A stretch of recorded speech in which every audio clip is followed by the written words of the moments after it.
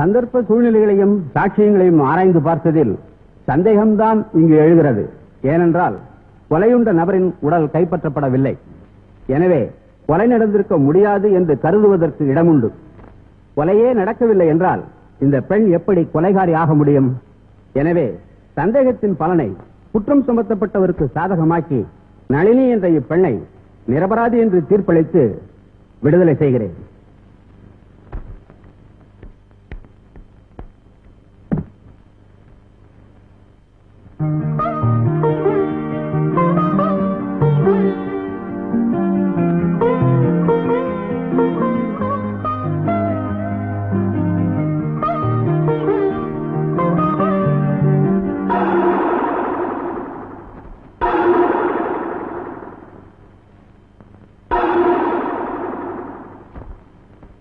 Driver எடுத்து ಎಡ್ತು ವೀಟ್ಕೊಳ್ಳುವೆ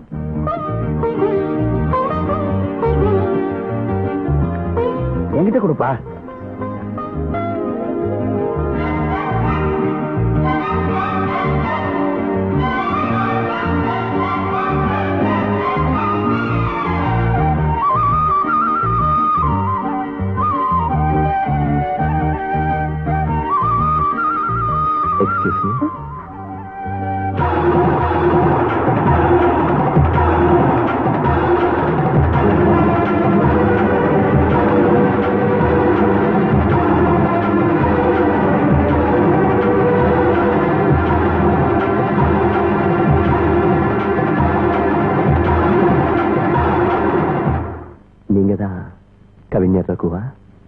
ஆமா நீங்க நான் நளினியோட நளினியோட ஹஸ்பண்ட்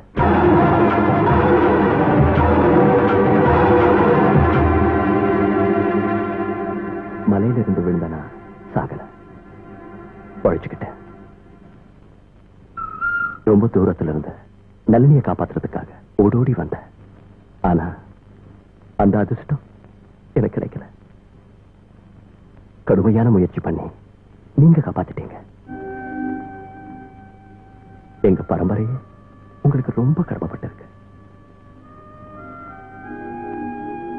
நளினி என்ன மன்னிச்சிடு. சந்தேகங்கிறது ஒரு சின்ன தீக்குச்சி. அது குடும்பத்தையே கொளுத்துருச்சு.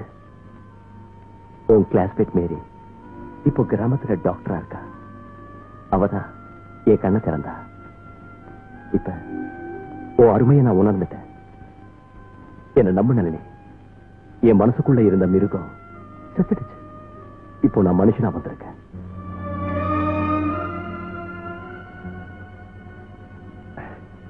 நளினி நீ விடுதலையானப்போ எனக்கு ஏற்பட்ட சந்தோஷத்தை விட இ- இப்பதான் ரொம்ப ரொம்ப சந்தோஷப்படுறேன். உங்க ரெண்டு பேரையும் சேர்த்து வைக்கிறதுக்கு இது ஒரு நல்ல சந்தர்ப்பம்.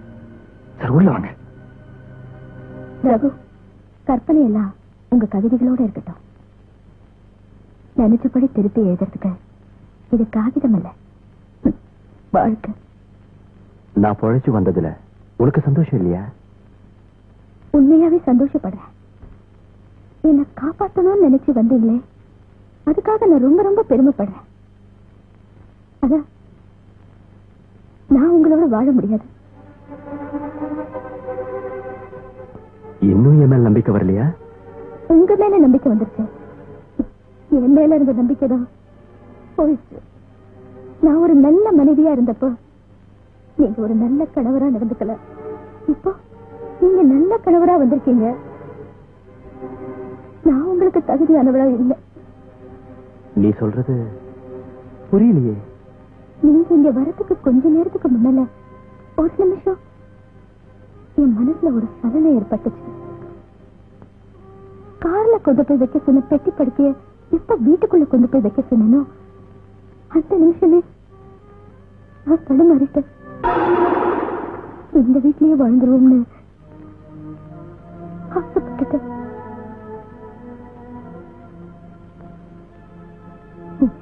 இது ஒரு பெரிய விஷயமே இல்லைன்னு என்ன மன்னிச்சு நீங்க ஏத்துக்கலாம். ஆனா அந்த ஒரு நிமிஷம் உங்களோட வாழற ஒவ்வொரு நிமிஷமும் என்ன உறுத்திக்கிட்டே இருக்கும். தயவு செஞ்சு என்ன மன்னிச்சிருங்க. மறந்துருங்க. வித்யா இங்க வாமா வித்யா? எனக்கு உதவி செய்யறதுக்கு ஒரு கவிஞர் கிடைச்சாரு. கடைசியில என் புருஷனும் திரும்பி வந்துட்டாரு. ஆனா இப்படிப்பட்ட சந்தர்ப்பம் கிடைக்காம எத்தனையோ பெண்கள் இந்த சமுதாயத்துல போராடிட்டு இருக்காங்க. அப்படிப்பட்ட அவலை பெண்களுக்கு உதவி செய்யறதுதான் இனிமே என் லட்சியம். என் பயணத்தை தொடங்குறேன். எனக்கு துணையா என் கையில ஒரு ஊன்றுகோல் இருக்கு